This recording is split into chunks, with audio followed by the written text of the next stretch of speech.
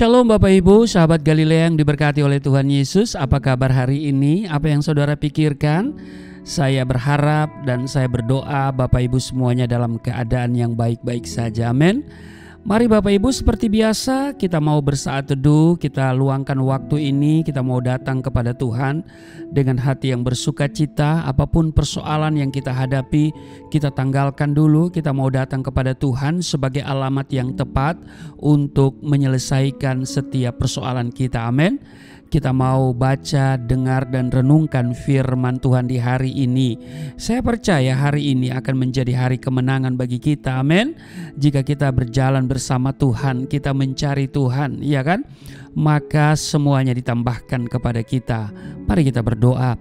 Bapa Surgawi, Bapa di dalam nama Tuhan Yesus, kami datang di hadapan-Mu mengucap syukur buat kebaikan Tuhan yang telah mengantar kami di hari ini dan kami boleh bangun dengan tubuh yang sehat, kekuatan yang baru setelah kami menjalani eh, kehidupan di malam yang sudah berlalu dalam istirahat tidur kami.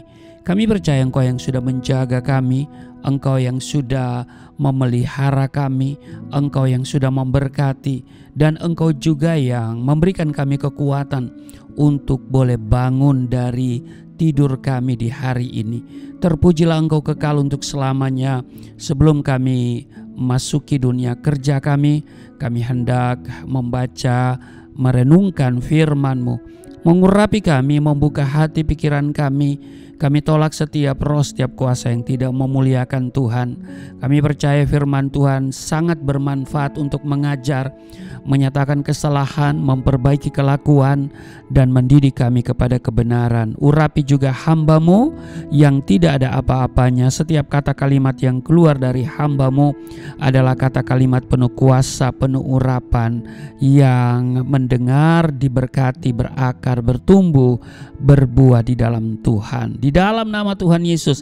Haleluya. Amin. Bapak Ibu, jika Bapak Ibu terberkati dengan tayangan sahabat Galilea yang setiap hari Senin sampai Sabtu tayang jam 4.30 waktu Indonesia bagian Barat, bantu kami untuk share link ini kepada yang lain ya. Doakan juga kami ya, saya bersama tim yayasan juga ya, Yayasan Pelayanan Galilea Indonesia supaya kami tetap eksis dalam uh, melaksanakan amanat agung terutama pekerjaan misi yang saya emban ya supaya semuanya disiapkan Tuhan semua kebutuhan terpenuhi. Karena itu saya minta doa dari Bapak Ibu semuanya ya. Baik kita akan baca di dalam 1 Yohanes pasalnya yang kedua pada ayat 18 sampai dengan ayatnya yang ke-27. Lembaga Alkitab Indonesia memberi judul Antikristus. Anak-anakku, waktu ini adalah waktu yang terakhir, dan seperti yang telah kamu dengar, seorang antikristus akan datang. Sekarang telah bangkit banyak antikristus. Itulah tandanya bahwa waktu ini benar-benar adalah waktu yang terakhir. Memang mereka berasal dari antara kita, tetapi mereka tidak sungguh-sungguh termasuk pada kita. Sebab jika mereka sungguh-sungguh termasuk pada kita, niscaya mereka tetap bersama-sama dengan kita. Tetapi hal itu terjadi supaya menjadi nyata bahwa tidak semua mereka sungguh-sungguh termasuk pada kita. Tetapi kamu telah beroleh pengurapan dari yang kudus dan dengan demikian kamu semua mengetahuinya.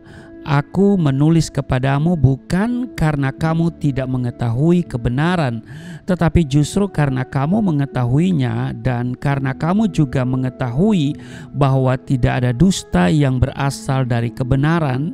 Siapakah pendusta itu ayat 22? Bukankah dia yang menyangkal bahwa Yesus adalah Kristus? Dia itu adalah antikristus, yaitu dia yang menyangkal baik Bapa maupun anak. Sebab barang siapa menyangkal anak, ia juga tidak memiliki bapa. Barang siapa mengaku anak, ia juga memiliki bapa. Dan kamu, apa yang telah kamu dengar dari mulanya? itu harus tetap tinggal di dalam kamu. Jika apa yang telah kamu dengar dari mulanya itu tetap tinggal di dalam kamu, maka kamu akan tetap tinggal di dalam anak dan di dalam Bapa. Dan inilah janji yang telah dijanjikannya dijanjikannya sendiri kepada kita, yaitu hidup yang kekal. Semua itu kutulis kepadamu, yaitu mengenai orang-orang yang berusaha menyesatkan kamu, sebab di dalam diri kamu tetap ada pengurapan yang telah kamu terima daripadanya. Karena itu, tidak perlu kamu diajar oleh orang lain, tetapi sebagaimana pengurapannya mengajar kamu tentang segala sesuatu, dan pengajarannya itu benar tidak dusta, dan sebagaimana ia dahulu telah mengajar kamu, demikianlah hendaknya kamu tetap tinggal di dalam Dia. Menarik bacaan kita di 1 Yohanes pasal 2 ayat 18 sampai dengan ayat 27. Di ayat 22 dikatakan begini, siapakah pendusta itu? Bukankah dia yang menyangkal bahwa Yesus adalah Kristus? dia itu adalah antikristus, yaitu dia yang menyangkal baik bapa maupun anak. Bapak Ibu sahabat Galilea yang diberkati oleh Tuhan Yesus, seorang percaya yang peka rohani pasti menyadari bahwa saat-saat ini adalah masa akhir dari air zaman. Masa akhir dari air zaman keadaan, kejadian atau peristiwa yang sedang terjadi di dunia ini uh, semakin menguatkan bahwa kedatangan Kristus yang kedua kalinya sudah teramat dekat. Alkitab menyatakan bahwa sebelum hari itu tiba akan ada tanda-tanda menyertai pemberitaan Injil ke seluruh dunia. Ini salah satu tanda terjadinya juga kemurtadan itu juga tanda adanya penyesatan juga kesukaran atau masa-masa sulit dan sebagainya dan sebagainya. Nah, firman Tuhan menasihati saudara dan saya di Matius pasal 24 ayat 6 bagian B, berawas-awaslah, jangan kamu gelisah sebab semuanya itu harus terjadi. Apa yang akan terjadi? yaitu pemberitaan Injil secara masif ya kan ke seluruh dunia, ke seluruh pelosok.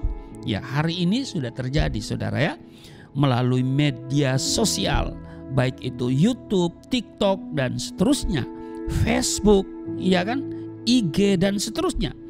Tapi juga terjadi uh, kemurtadan, ya kan? Terjadi kemurtadan, ada penyesat-penyesat yang memurtadkan orang-orang percaya. Tapi juga ada orang yang kemudian menjadi percaya kepada Yesus ya, yaitu mereka yang terlahir sebagai anak-anak kegelapan ya. Lalu sekarang mereka mengikut Yesus seperti saya, ya kan? Ada penyesat-penyesat ya. Lalu juga kesukaran Hari-hari ini ada banyak orang berteriak susah. Ya, hari-hari ini susah, masa-masa yang sulit. Alkitab katakan, masa-masa yang sulit, hari-hari yang sukar, dan hari-hari yang penuh dengan kejahatan. Sudah jahat, sukar pula, ya, dan seterusnya, ya, belum lagi bencana-bencana. Nah, firman Tuhan memberikan ketegasan sebuah nasihat kepada kita yaitu apa? Berawas-awaslah, jangan kamu gelisah. Jangan gelisah. Amin. Sebab Alkitab katakan semuanya itu akan terjadi, harus terjadi. Tanda lain yang semakin mempertegas tentang air zaman adalah munculnya apa? Antikristus. Ya. Walaupun sesungguhnya hal antikristus ini bukanlah suatu hal yang baru, ya kan? Karena sudah ada sejak lama, bahkan semasa uh, Rasul Yohanes ya di zaman itu sudah ada. Kata antikristus ditulis lima kali dalam perjanjian baru. Semuanya ada dalam tulisan Yohanes ini. Nah, pertanyaannya adalah apa pekerjaan antikristus? Pekerjaannya adalah berusaha merusak persekutuan hidup orang percaya dengan menyisipkan kebohongan dalam kebenaran atau ajaran yang menyesatkan. Hal nyata yang ditunjukkan oleh antikristus adalah sikap penolakan dan penyangkalan terhadap Bapa dan juga anak. Haleluya, dikatakan begini. Siapakah pendusta itu? Bukankah dia yang menyangkal bahwa Yesus adalah Kristus? Sudah tahu, waktu tahun 92 saya dijerat dengan pasal penistaan agama, ya, dan kemudian diproses secara hukum. Saudara, ini menjadi perdebatan yang apa ya? Ya, perdebatan yang luar biasa antara saya, jaksa penuntut umum, dan juga hakim. Kenapa? Karena mereka uh, bernar bernarasi saya menyiarkan berita bohong. Berita bohong apa? Bahwa Yesus adalah Tuhan. Nah, bagi mereka Yesus itu bukan Tuhan. Mereka menolak ketuhanan Yesus. Bagi mereka Yesus itu hanya nabi, hanya utusan. Karena pemahaman mereka utusan ya seperti nabi-nabi yang lain. Padahal utusan saya tidak menyangkal bahwa Yesus itu utusan, tetapi dia utusan yang keluar dari diri Bapa, utusan yang dari surga. Iya toh? Dia firman yang keluar dari Bapa, dari Allah. Lalu dia menjadi manusia. Nah, mereka katakan saya menyiarkan berita bohong bahwa Yesus adalah Tuhan. Karena tema yang saya beritakan zaman itu ya, karena di awal-awal pertobatan, cinta mula-mula, semangat yang uh, membara memberitakan Injil Yesus Tuhan dan Juru Selamat, bahwa di luar Yesus tidak ada jaminan keselamatan. Sudah pasti jin setan-setan itu kepanasan. Dan ini saya pakai ayat ini untuk membantah delik yang disampaikan oleh jaksa, tuduhan mereka itu dan saya katakan siapakah pendusta itu? Bukankah dia yang menyangkal bahwa Yesus adalah Kristus? Jadi orang yang menyangkal bahwa Yesus adalah Kristus, ya, dia adalah antikristus. Nah karena itu, ya tuntutan empat tahun menjadi empat tahun enam bulan itu putusan, ya. Jaksa menuntut empat tahun, putusannya menjadi empat tahun enam bulan. Jadi Bapak Ibu, saudara-saudara, sahabat Galilea yang diberkati oleh Tuhan Yesus pekerjaan antikristus itu yang saya katakan tadi bahwa dia berusaha merusak persekutuan hidup orang percaya dengan menyisipkan kebohongan dalam kebenaran. Atau boleh ditegaskan sebagai ajaran yang menyesatkan. Iya kan? Nah, dengan ajaran palsunya antikristus secara tegas menolak Kristus sebagai anak Bapa dan menolak doktrin inkarnasi Kristus. Mereka bilang begini, kalau Allah itu beranak siapa bidannya? Haleluya. Sebetulnya apa yang mereka sampaikan itu tidak semua salah, tapi juga tidak semua benar. Kenapa? Karena mereka terpaku pada kata anak dalam pandangan kacamata biologis. Anak hasil perkawinan. Sehingga mereka bertanya kalau Allah beranak, siapa bidannya? Iya kan? Padahal tidak selalu anak itu dalam pengertian biologis. Anak tangga. Iya. Kalau saya bertanya kepada mereka, kalau tangga beranak siapa bidannya? Karena ada anak tangga. Kalau Batak beranak siapa bidannya? Karena ada anak Batak. Kalau Indonesia beranak siapa bidannya? Karena ada anak Indonesia.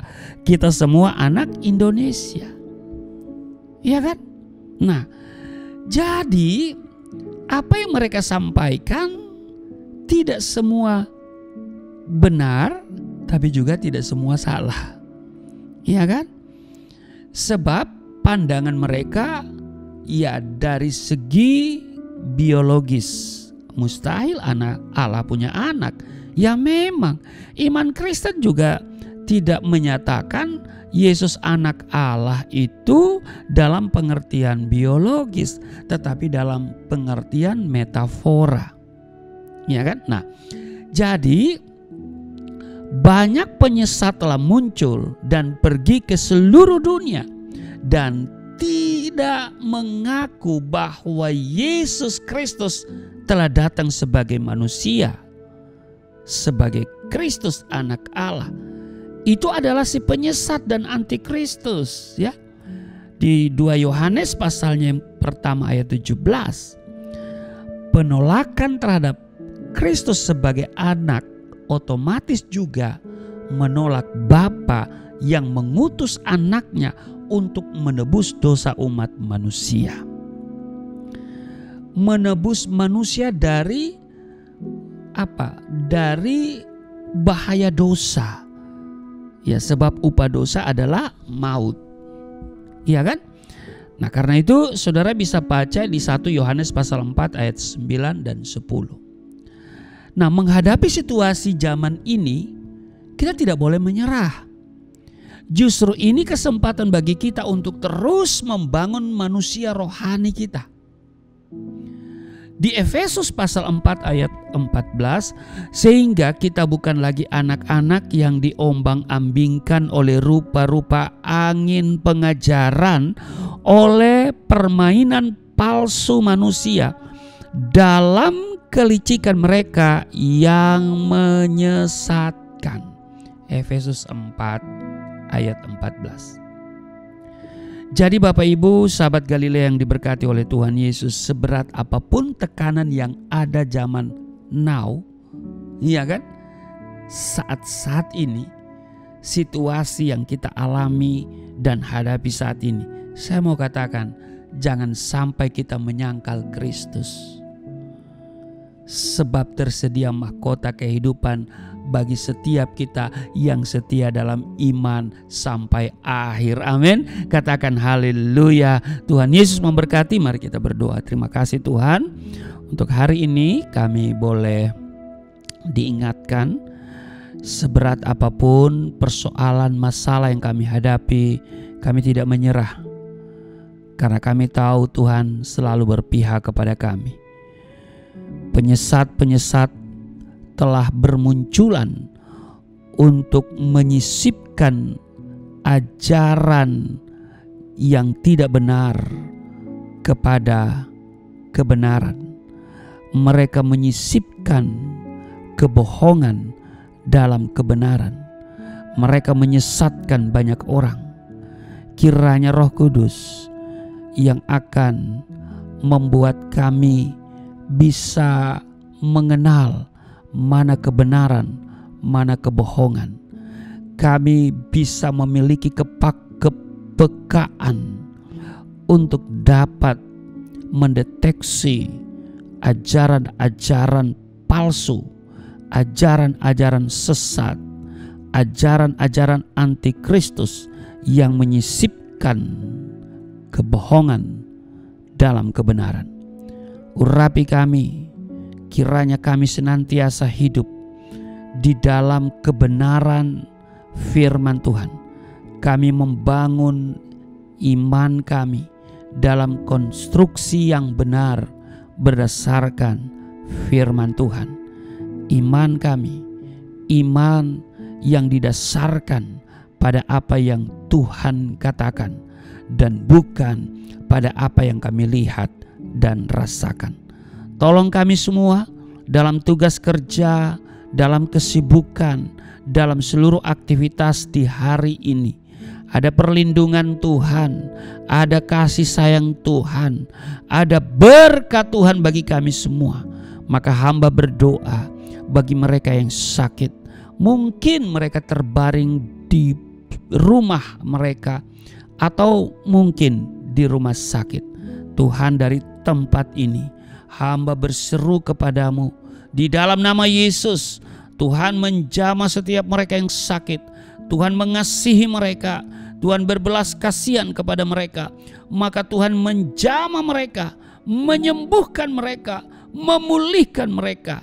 Mereka yang sedang bergumul dengan persoalan ekonomi yang hari-hari ini terasa begitu berat. Tuhan, Engkau adalah alamat yang tepat untuk setiap kami datang menyelesaikan setiap persoalan.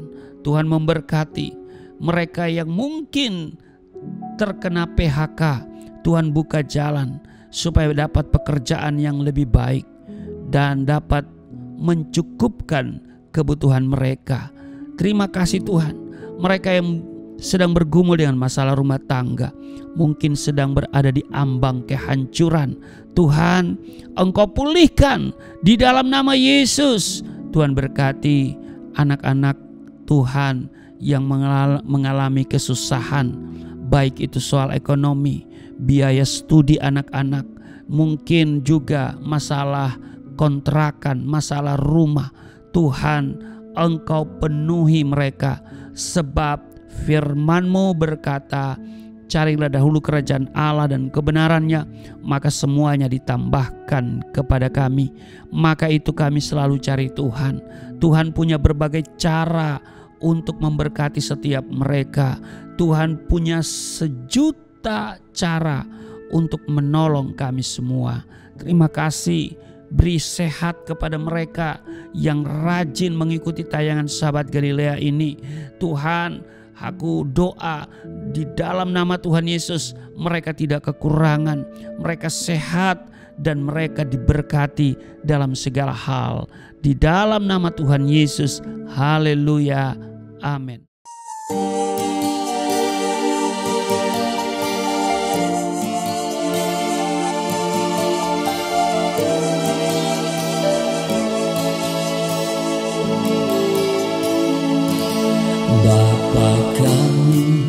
Yang di surga. Dimuliakanlah namamu datanglah kerajaan jadilah kehendakmu di bumi seperti di surga